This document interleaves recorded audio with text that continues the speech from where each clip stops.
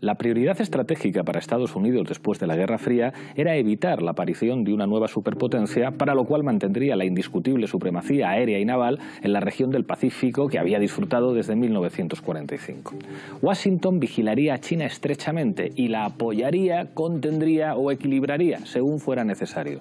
El objetivo era presionar a Pekín para que implementara las reformas estructurales definidas por el Banco Mundial, abriera totalmente sus mercados a las empresas e inversiones del Atlántico Norte y garantizara sus derechos de propiedad.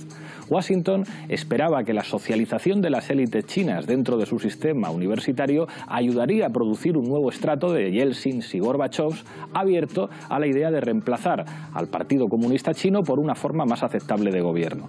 Pero el plan no ha salido como estaba previsto. Este es un fragmento de un artículo de Susan Watkins del último número de la New Left Review. Hoy hablamos de la guerra comercial entre Estados Unidos y China. Bienvenidas a Fort Apache.